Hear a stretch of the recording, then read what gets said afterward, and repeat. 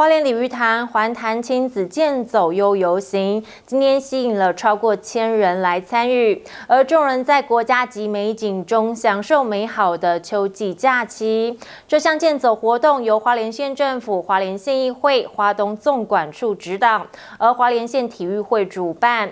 参与健走的民众为健康动起来，一起携手打造花莲爱运动风气。二十八号一早七点不到，旅潭涌入不少人潮，其中不少是全家一起大手牵小手走出户外，投入大自然的怀抱。进走之前，邀请 CK 运动工作室教练做个有氧健康操。幸福教育处代理处长翁书明、体健代理科长吕俊杰也与大家一起来暖身。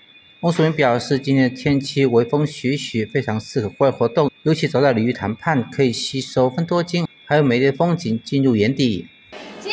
开心呢。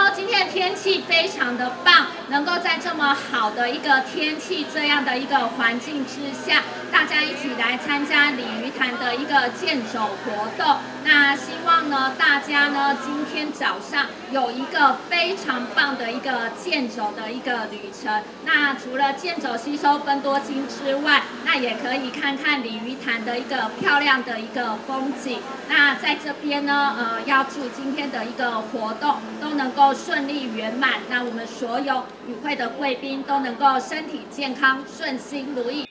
名枪医生翁淑敏等人和大家迈开大步，由鲤鱼潭风景区游客中心出发，循着环潭道路前观音亭后折返，全长六公里路程。参与健走的民众沐浴在绿意盎然的清水环境中，深刻感受到回暖之美。记得中文说文报道。